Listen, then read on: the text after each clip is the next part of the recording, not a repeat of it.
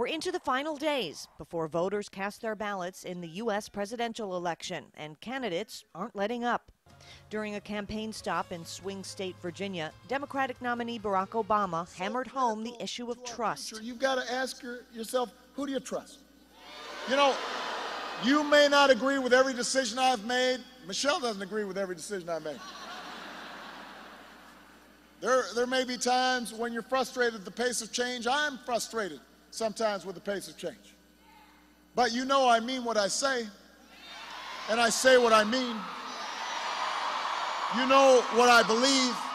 You know where I stand. For Romney, it's all about gaining trust from moderates. Playing the middle, Romney's driving home the message of bipartisanship. I'm going to work with Republicans and Democrats in Congress. I'm going to meet regularly with their leaders. I'm going to endeavor to find good men and women on both sides of the aisle who care more about the country than they do about politics. Election Day is next Tuesday, November 6th.